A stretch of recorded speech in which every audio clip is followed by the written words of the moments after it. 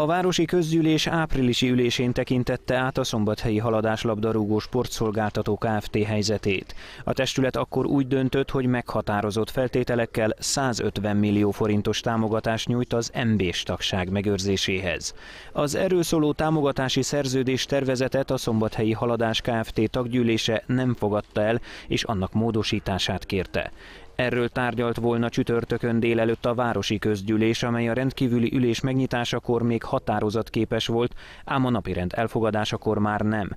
Ugyanis ketten Molnár Miklós alpolgármester, valamint Ipkovics György képviselő távoztak a teremből, akik ezt megelőzően az ülés előkészítetlenségét kifogásolták, és azt javasolták, hogy pénteken folytassák a tanácskozást.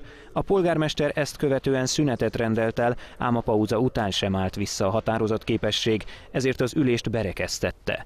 Puskás Tivadar összegzésében elmondta, hogy ez azt jelenti, hogy érvényben marad az a korábbi határozat, amely szerint az önkormányzat átutalja a Szombathelyi Haladás Kft-nek a 150 millió forintos támogatást, ám csak azután, hogy a tulajdonos társak igazolják, hogy ők is eleget tettek fizetési kötelezettségüknek.